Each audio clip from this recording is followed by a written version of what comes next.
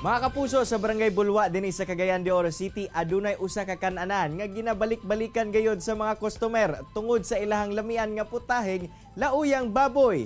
Naghuna-una na ba mo kung unsa ni nga klasing pagkaon? Hala sige, dunga natong Siron kung unsa ni nga putahe kauban si Arnelio Pabilona. Sir Arnel, mayong buntag ug dayon sa At Home GMA Regional TV. Kamusta sir? Mayong buntag, kapuso. Sir Arnel, unsa ba ang nag-inspire sa inyo wa, sir nga musulod mo sa negosyo nga karinderya? Una, usa ko ka empleyado sa kumpanyang ako nga nagtrabaho. Then, nakaunahon ako kay na close ang kumpanya akong gitrabahoan. Kaunahan ako nga mag kuan na lang magluto-luto lang sa ginagmay. Usa sa imong mga ginaluto kining lauyang baboy, unsa ba ni nga klaseng putahe, sir? Ang laoyang baboy nga kung giluto, part ni siya sa tiil sa baboy, tanan yun siya. So, ang uban mga angat mga customer na mo, po ilang favorite ang kuan, tiil, tiil sa baboy. Asa ba ka nakatuon sa pagluto aning lauyang baboy, sir? Oh, sa akong papakaniad to nga gagmay pa mi. Then dala siyang tiil sa baboy iyang lutoon, lauyahon. Ito akong nahuna-huna. Ako pong gi sulay pag luto para baligya. Sa isa ka lutuan, sir, unsa pud ba kadugay ang pagluto aning lauyang baboy? Kasagara ang akong giluto kanang gikan sa Bisaya nga karning baboy. Pulos gid siya tiil sa baboy. Yan. Ang kadugayon pinakataas tulo ka oras pwede na nato ma-serve ang laoyang baboy. Niadtong wala pay pandemya, sir, unsa pud kadaghan ang imong ginaluto matag adlaw ug karon? Do na ba'y pagbaba sa gidaghanon sa imong ginaluto nga lauyang baboy? So nag-start ko sa una tag 5 kilos. Mahurot siya bayon sa hapon. Antod nga niabot na karon nga abot na og tag 40 kilos a day akong maluto. Niadtong wala pa'y pandemya, muluto ko ah 40 kilos ah, kada adlaw. Ang mahurot gikan sa buntag paingon sa alas 2 sa hapon wala na. Hurot na siya. Then pag abot sa pandemic medyo mingaw gyud.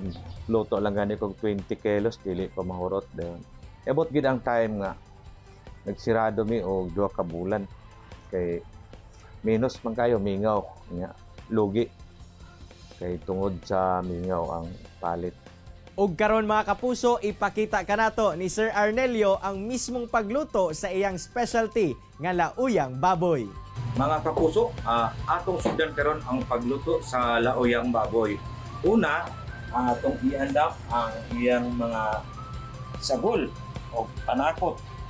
Ang sunod, ang iyang ang tiil sa baboy nga parte.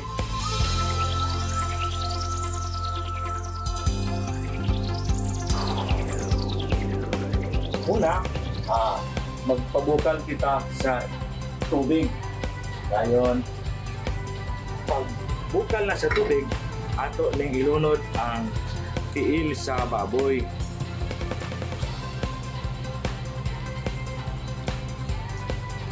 Lunod siya. Pagkahuman, ato lang sa siyang takloban. Atong paabuton ang nga bukal. Okay, mga kapuso, after 20 minutes, sa pagtungtong na to, apang butang na to sa tiil sa baboy, nibukal na siya. Ato na yung ilunod ang sakol nga tanglad. O, niya. Pagkahuman, atong ibutang daan ang ahos.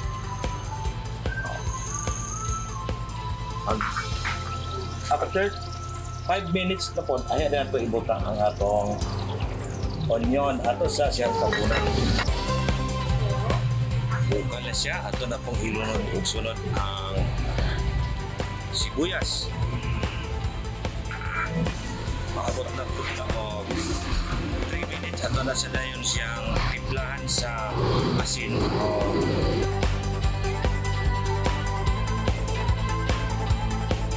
gamay nga bitsin. sa gabon. Atong tanawon o ato na yung ibutang ang atong asin. Gamay nga MSG.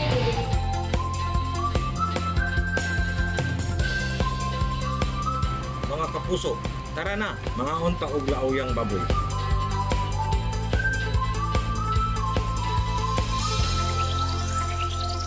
Sigurado ko nga gigutom og naibog na mo mga kapuso sa lauyang baboy. Atak na jud ko unya dinha human ani. Bitaw, daghang salamat Sir Arnelio sa imuhang oras ug gigayon nga gihatag sa At Home GMA Regional TV.